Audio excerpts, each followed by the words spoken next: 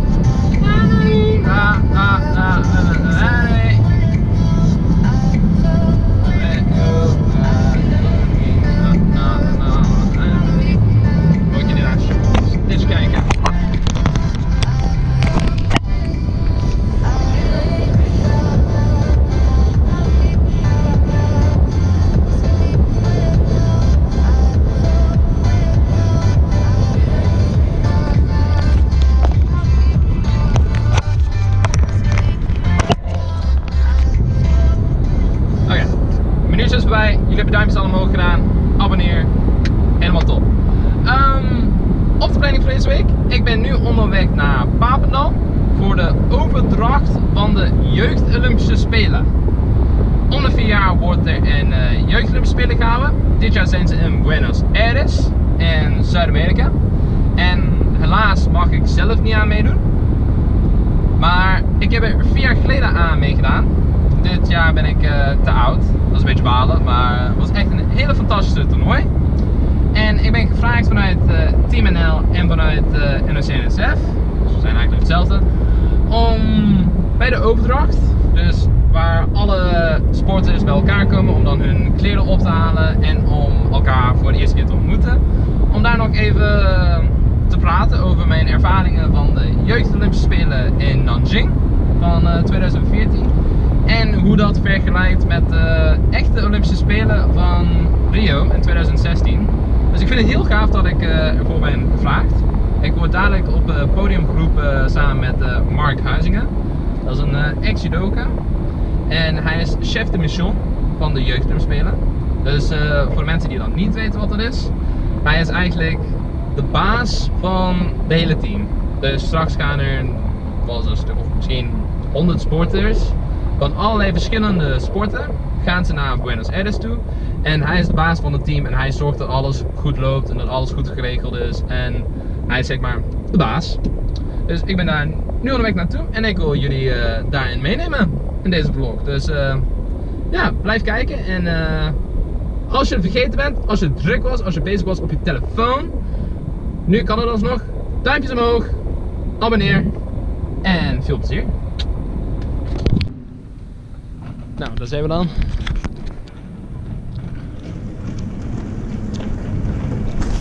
Welkom in Wapenal. Zijn koffertje.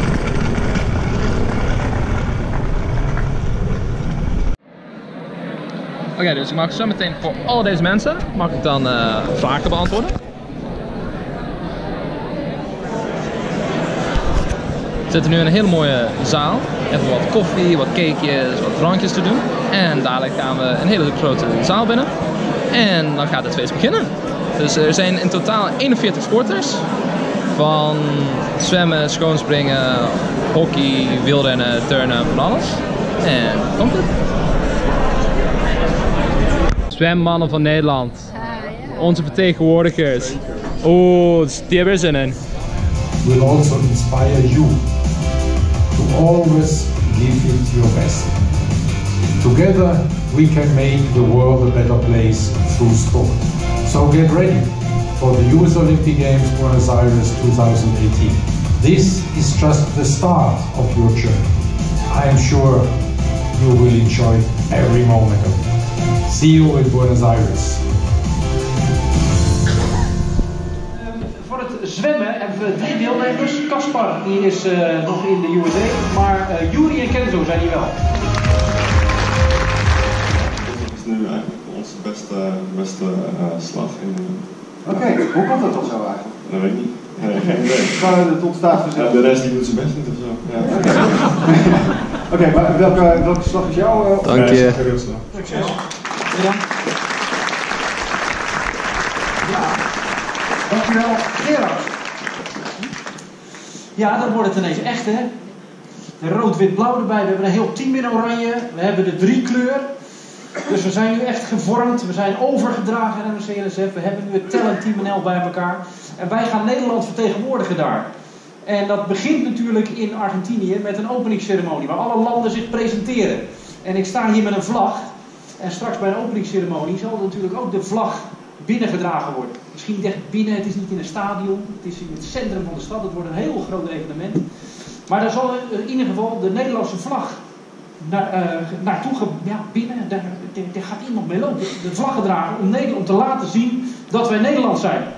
Dat wij voor Nederland staan. En als we dan toch daar staan, dan denk ik dat we meteen een hele goede, sterke indruk moeten maken. Dat we meteen even imponeren als we daar zijn. En daarom Enzo. Wil jij gewoon de vlag dragen?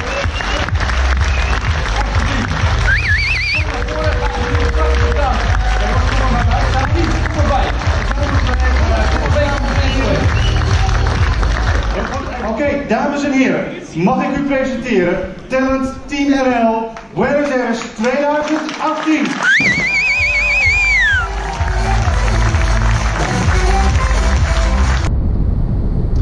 Ik ben weer onderweg naar huis. Het was uh, hartstikke leuk. Ik vond het uh, echt heel leuk om uh, weer erbij te zijn. Vier jaar geleden ging het eigenlijk hetzelfde. Het begint altijd met een praatje van de chef de mission en wat andere NOC-NSF mensen. Dan worden alle sporters naar het podium geroepen, iedereen een beetje klappen, succes.